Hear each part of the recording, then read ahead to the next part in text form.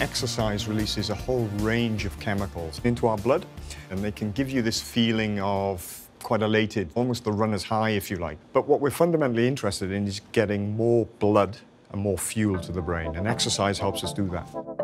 Damien's latest research focuses on the best way to exercise to get maximum blood flow to different parts of the brain. Today, he's putting me through two different tests on the exercise bike. And one of them will work my brain just as hard as my body. First, Damien's going to measure the blood flow to my brain when I'm doing some standard exercise. As I cycle, Damien and his team can see which parts of my brain receive the most blood. But it's the next part of the experiment Damien is really interested in. A test I've been warned is a little strange. So now what we're going to do is we're going to repeat that, but this time, when we're exercising, we're going to have you looking at the flashing checkerboard. This looks fun, but why are we doing it? The brain is working super hard to try to make sense of all of the changing shapes. For this test, Damien's getting me to stare at the board for 30 seconds, then shut my eyes for 30 seconds. Three, two, one, eyes closed. This time I'm working my brain at the same time as exercising. Damien's team are all the time measuring how much blood flows into my brain and where it goes once it gets there. This is flow velocity. So red blood cells whizzing into your brain. So they're whizzing into the front of the brain, the middle cerebral artery, and to the back of the brain, the posterior cerebral artery. At rest, you can see there's less flow moving into the back of the brain perfectly normal. Now, no when, worry then. Thanks. yeah, perfectly normal. That's good to know.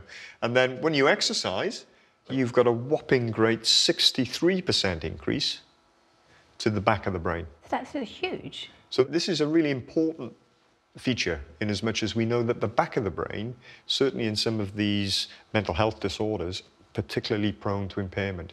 So with exercise here, as you can see, we're selectively targeting the back of that brain. So during standard exercise, the blood flow to the back of my brain increased by 63%. Increasing blood flow, and in particular to the back part of the brain, helps maintain good mental health because it carries with it nourishment in the form of oxygen, glucose, and proteins, which help grow and repair brain tissue. Next, what difference did the flashing squares make? I want to know what was going on when I was opening and closing my eyes. Tell me about my brain then you didn't feel as if you're doing any extra work, but the brain was working jolly hard.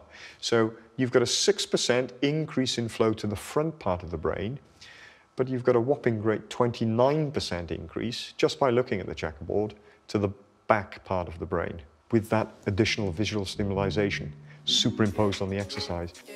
Exercising at the same time as performing a mental task results in more blood flow to the back of the brain, which can help alleviate symptoms of depression, panic disorders, and anxiety in the long term.